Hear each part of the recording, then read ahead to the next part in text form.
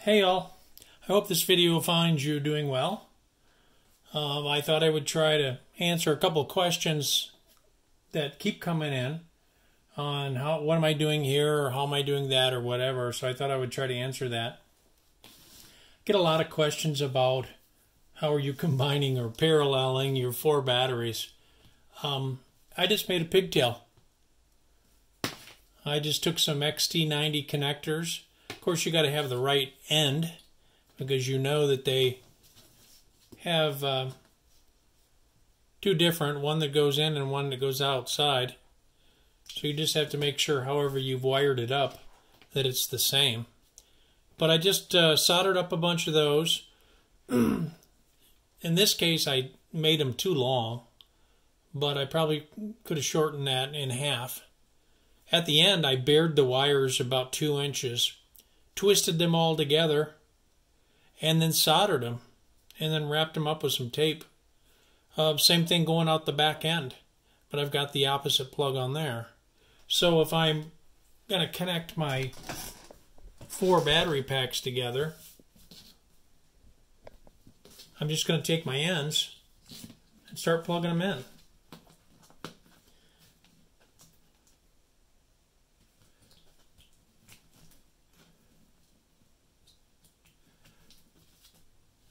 Now, while I've got these four plugged in together, they are actually going to balance for me because I'm going to work on my next video. So that's how the pigtail works for the discharge side. Then I can run out the one port, I can run my dongle, and be good to go. Same thing's true on the charging side of it. My charging end fits into the XT60 connectors. And then I've made a pigtail. In this case, I've actually got five, because at one point I had five batteries instead of eight. Uh, but you can see how that works. And I decided to go with the smaller XT60s on the charging side of it.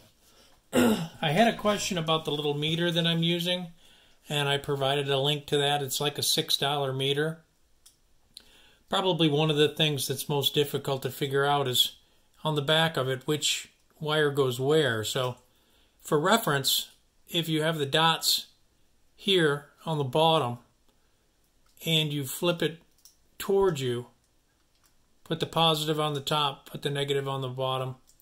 I just put some Kapton tape around it and then lead that into a little uh, a little lead that you can create yourself easy to create these. This is an XT90.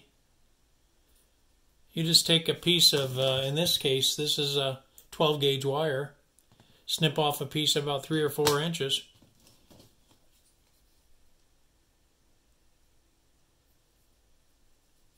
Flat and flat. You'll notice on these, there's uh, they're marked for negative and positive. Flat side is the positive side and I solder those together. And then I take these two little wires and I just lead them out the end. So very simple to make up your own adapters if you've got a soldering iron and some solder. You can see the size difference here between the XT60s and the XT90s, how much more robust they are. And that's about it. So uh, get your soldering gun out and make yourself some adapters. They work great. So this is just a short little video to answer some questions. Um, thanks for watching, and uh, the next uh, video that we're going to have, I'm actually going to hook these four batteries up to this one final last time and charge the damn thing and get it done done and over with so then I can move on to some other battery products or uh, battery projects that I've got going on so Again, thanks for watching. Comments below, um, constructive or, or, or nice if you wouldn't mind. Uh, if you're mean, I'll probably just uh, boot you. So, uh, thanks again for watching, and uh, have a, have a great day.